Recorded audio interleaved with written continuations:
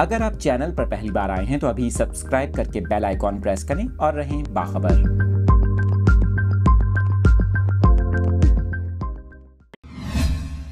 अहम ख़बर की डिटेल्स आपके साथ शेयर कर रहे हैं। आपको बता रहे हैं कि कराची एयरपोर्ट पर गैर मुल्की तैयारे ने हंगामी लैंडिंग की है। आपको बता रहे हैं परवाज़ मस्कत से बांग्लादेश जा रही थी कि तैयारे में एक मुसाफिर की तबीयत ख़राब हुई, जिसके बायस हंगामी तौर पर तैयारे की लैंडिंग की गई। आपको इस अहम ख़बर से मुतल अपडेट कर रहे हैं।